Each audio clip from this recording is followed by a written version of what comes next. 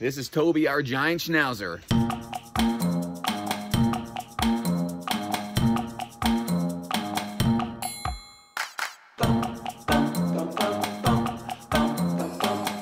If you've been watching our channel very long, you've probably seen our giant schnauzer in several of videos. Uh, he's a really great dog. He is a giant schnauzer.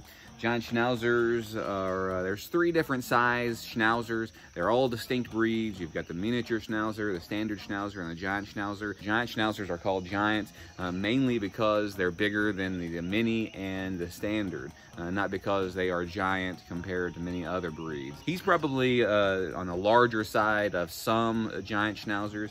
I'd say he's probably about 100 pounds, maybe just a little bit less. He's a farm dog. Giant Schnauzers are used uh, for, uh, you know, police dogs and drug dogs. They've got a really great nose, so they can uh, smell really well. They're very trainable, but you've got to uh, be firm with the dog, but very loving. I'm kind of of the uh, opinion that you don't really have to do a lot of uh, defense training for dogs because they will pick that up immediately as long as you teach them, you know, to, you know, respect and you teach them that they are part of the family, they feel like they've got skin in the game, then they're going to uh, protect your family.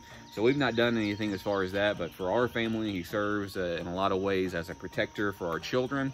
Uh, he follows our kids around all over this farm. Uh, wherever the kids go, he goes as well. Uh, I believe very much that uh, he would eat someone alive if they started messing with our kids back here. So uh, if you decide to to come back here and mess with us and mess with our kids, then be prepared to deal with this. I've worked with him some, uh, training him. Uh, he uh, can sit and stay. He can place. Give me five.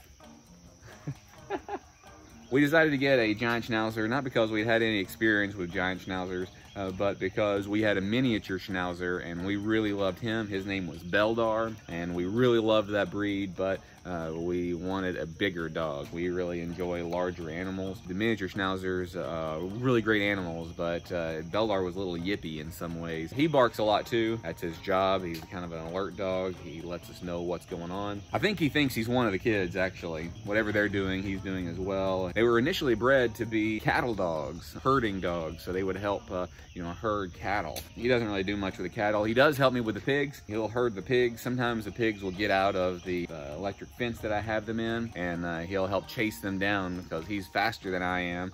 Pigs are pretty fast and he'll wear them down. He's never bitten into one. Uh, he will kind of gum them, you know, to try to, you know, get them to stay. He's had his mouth around uh, Steve Earle and uh, some of our other little pigs, uh, but I've never seen any wound. They're bred from the standard Schnauzer. They uh, tried to you know, increase the size of the breed.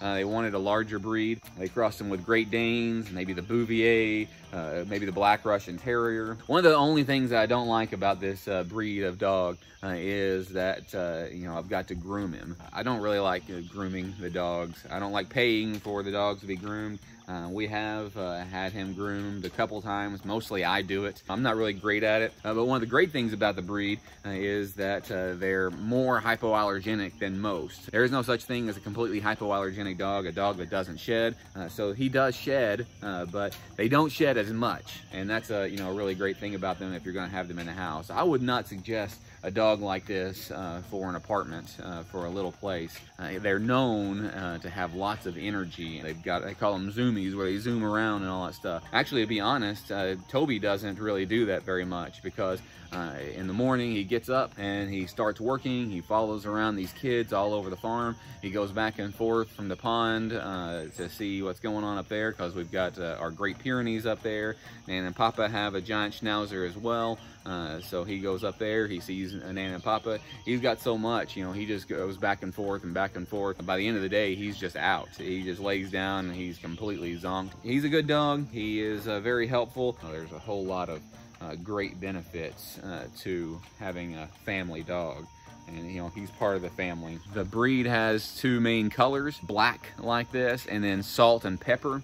Uh, pepper and salt i'm not sure if it's uh, if it matters to say salt and pepper or pepper and salt. Uh, some people crop their ears like the Doberman pinschers. I don't I don't like their ears like that. Some people really like that, uh, you know, no judgment. It's just cosmetic for the most part. In Europe, they've outlawed uh, cropping ears, you know, for cosmetic reasons and docking tails. You see his tail? It's docked. I like their tails docked. You know, that's cosmetic as well. They've outlawed that in Europe as well. Okay, break, break. Good boy. Good boy. Toby, come. Good boy, sit. Yes, good boy. Okay, place. Oh, no, don't do that. Toby, place. Good boy, sit. Good boy, give me five. Yeah. Can you give me a kiss? So this is the giant schnauzer, but we haven't had any health issues from him. He'll be two this month, and that's when they say they're full grown. Large breeds are puppies until they're two. But if you have any questions about the giant schnauzer, I would love for you to put them down below. If you know anything about the giant schnauzer, I'd like to share those things. I would love to hear those things as well. Great breed. Uh, wouldn't recommend it for small spaces. If you've got a farm, uh, you know, give them a job, make sure they have a job to do. We're here almost all the time. Uh, so a lot of people say that, you know, their giants get lonely at home.